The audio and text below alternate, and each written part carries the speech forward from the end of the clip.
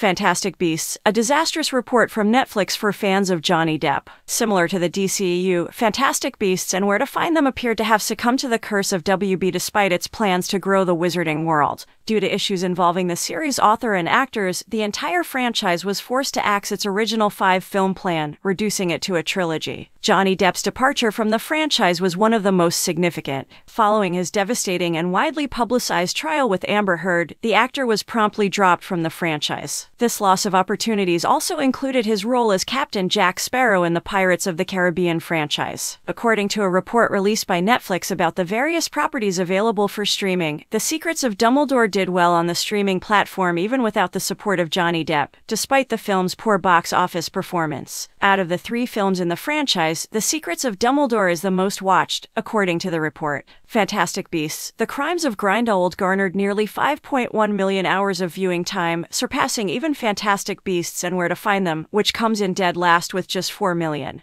The third installment in the franchise, which outperformed both of these entries by a wide margin, earned a total of 5.9 million hours, totally defying the belief held by fans that Depp's departure would negatively impact the franchise. In the Fantastic Beasts series, Johnny Depp plays Gellert Grindelwald, the main antagonist and long-lost love of Albus Dumbledore. Fans particularly embraced the character largely due to Depp's performance. But after Amber Heard's trial, Depp was replaced by Mads Mikkelsen, which infuriated fans of the WB machine, especially since Amber Heard continued to play Mera in the DCEU. While the Fantastic Beasts franchise is currently essentially dead, Amber Heard is still scheduled to appear in Aquaman and the Lost Kingdom. This branch of the franchise has no planned sequels because the IP is currently focused on world expansion and the impending reboot. Numerous fan campaigns to bring Johnny Depp back to the franchise failed to materialize in a timely manner. With Mikkelsen playing Grindelwald in Fantastic Beast, The Secrets of Dumbledore, Depp's departure from the series was confirmed. Even though the third Fantastic Beasts movie did not do well at the box office,